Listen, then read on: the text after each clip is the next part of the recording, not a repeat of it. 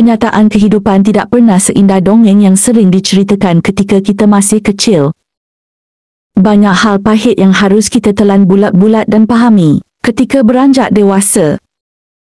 Mungkin beberapa hal ini bisa mulai kamu pahami dan terapkan di kehidupan agar kamu tahu makna hidup yang sebenarnya. Berikut 8 fakta psikologis kenyataan pahit dalam kehidupan yang harus kita terima. 1. Bahagia itu kita ciptakan. Siapa bilang kebahagiaan bergantung dengan mobil baru, rumah bagus, mimpi yang tercapai atau keluarga yang harmonis?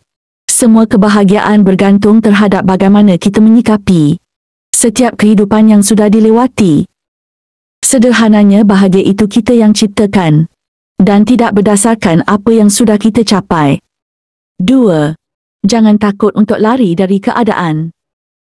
Lari dari kenyataan tak selamanya buruk. Walau terdengar seperti orang yang pengecut. Namun hal ini tentu dalam konteks yang berbeza. Jika kamu berada di lingkungan yang taksik, membahayakan masa depanmu dan mengetahui bahawa banyak hal yang tidak berjalan sebagaimana mestinya.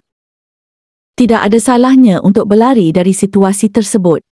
Berlarilah bukan kerana hal tersebut memberatkanmu, namun berlarilah kerana hal tersebut menghambat langkahmu. 3. Tidak perlu memaksa orang lain.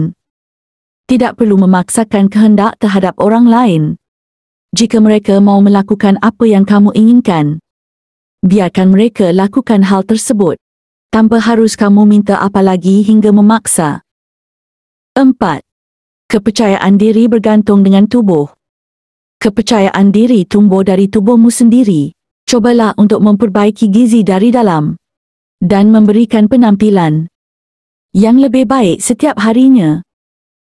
Kelak kamu akan memahami bahawa penampilan yang kamu tampilkan bukan untuk membuat orang lain kagum, namun untuk meningkatkan kepercayaan dirimu sendiri. 5. Berani berbuat, berani bertanggungjawab tidak perlu takut untuk melangkah maju sebesar apapun halangannya. Kamu akan dihadapkan dengan resiko besar yang mengajarkanmu banyak hal ke depannya. Perbuatan dan keputusan yang kamu kamu ambil mungkin tidak selamanya baik, namun hal tersebut memberikan rasa tanggungjawab terhadap diri sendiri. 6. Kita berhak menghindari perdebatan. Kita semua punya hak untuk memperdebatkan sesuatu. Namun kita juga punya hak untuk menghindari hal tersebut, terutama jika perdebatan muncul kerana hal sepele dan kamu memahami lawan debatmu. Banyak orang yang menganggap orang yang menghindari perdebatan adalah orang yang lemah, padahal pemikiran tersebut membuat kita menyadari apa kelemahan lawan kita sebenarnya. 7. Partner hidup adalah cerminan diri. Orang baik juga akan dipertemukan dengan orang baik. Begitu kata-kata yang sering kita temui. Di masyarakat apalagi yang berhubungan dengan jodoh, terus perbaiki dirimu dan hubunganmu bersama orang lain. Kelak kamu juga akan menemukan partner hidup yang memiliki visi misi, kebiasaan, serta cara berfikir yang sama denganmu. 8. Kita bukan ekspektasi semua orang kita tidak bisa memenuhi setiap ekspektasi orang lain terhadap kita, terutama soal kebahagiaan. Banyak orang yang menuntut orang lain untuk bisa membahagiakan mereka dengan cara yang mereka inginkan. Padahal faktanya, kita bukan hidup dari ekspektasi orang lain. Namun bagaimana orang lain memperlakukan kita? Banyak hal lain yang bisa membuat kita menyadari bahawa hidup ini bukan sekedar lahir, tumbuh dewasa, kemudian pergi kerana digerus usia, mencintai.